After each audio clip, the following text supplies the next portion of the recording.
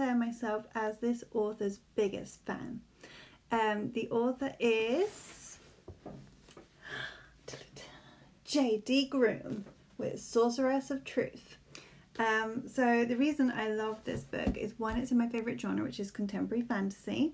Um, it's about a young girl who's 17. She's called Tori Harper. She starts a new school and she has no idea about her destiny, that she is a sorceress and she's about to be dragged into a world with vampires and fairies. So if you love all that kind of stuff, go and read it. Um, in addition to that, there is really good romance, which I always love, but it's like, yeah, there's two love interests, it's like double romance, which I love. Um, and when I realised that there was merchandise to buy for this book, I had to have it. So I have got this, which is a coaster. Now, um, it does look really cool, but it has a the symbol actually has a purpose too, which I'm going to show you. So within the book Sorceress of Truth, which is one of the other amazing reasons you must read, it's been beautifully formatted. So on all the chapters, you've got like this beautiful um, layout, and um, can you see the numbers, the little feathers?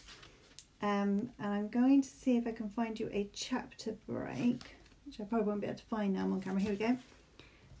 Um, and there is the symbol. I'm not going to ruin it for you, but it does have a meaning.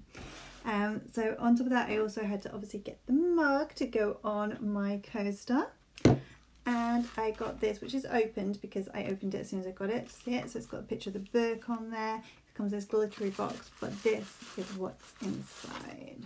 So it is a candle, but it is really, really beautiful. Look at those amethyst stones on there. Aren't they just lovely?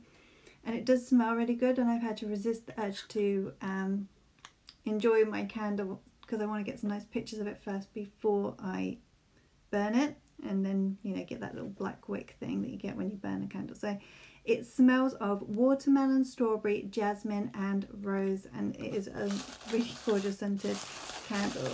Um, JD Groom is an author I absolutely love and she has supported me on my author journey reading some very early copies of my novel. Like I'm talking like embarrassing alpha copies and she's been really kind and supportive and encouraged me and given me great feedback so she's been like a real um, supporter in my journey and so I just wanted to say a big thanks to her and to declare myself as her biggest fan.